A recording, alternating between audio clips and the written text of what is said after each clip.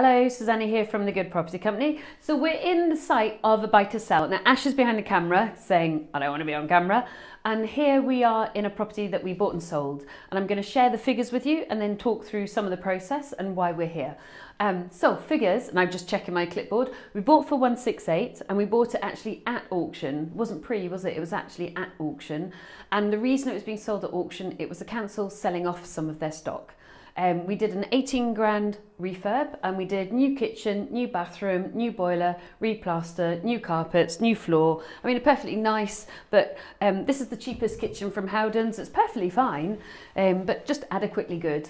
And then we've got it uh, sold and we're completing, exchanging, completing, well, subject to the person exchanging and completing in 12 days times for 217,500.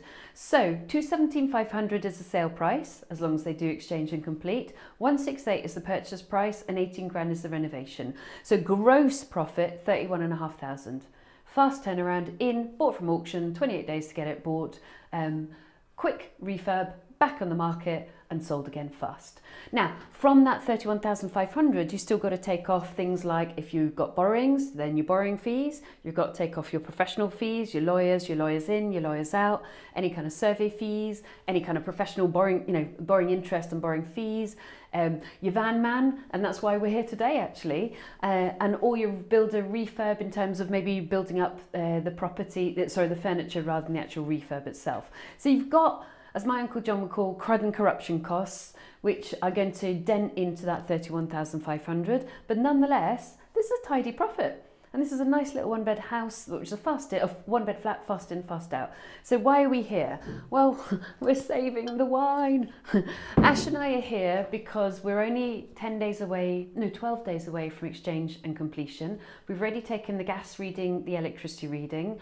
Um, one, the gas was actually on a meter, so we've got that. We're not going to use any gas now, so that's going to be the gas reading. The electricity was on a card, one of those prepaid cards, and we just want to double check we're not leaving any loss, any debt on the card, because that's just really bad manners. And we've actually been using this flat as a storage because we've had a whole bunch of properties sell, vroom, vroom, vroom, vroom, and we've had a whole bunch of properties, my, that's my technical language. And we've had a whole bunch of properties that we're renovating, but we don't have any new on the market. So we've, we've actually stored about three houses worth of storage furniture in this property because I refuse to pay for storage space, not because I'm mean, but because as soon as you start paying for storage space, things start just getting lost and I just don't want that. Luckily for us, we've got three properties that are about to go on the market. So Ash and I are here with our clipboards to take an inventory of what goes where. And because we work in a 17 minute radius, we will only do projects within 17 minutes of the office. The next property, which is a three bed house, isn't it, with a, a sitting room, a dining room, and a kitchen, is probably going to swallow up almost all this furniture. And it's like five minutes around the road.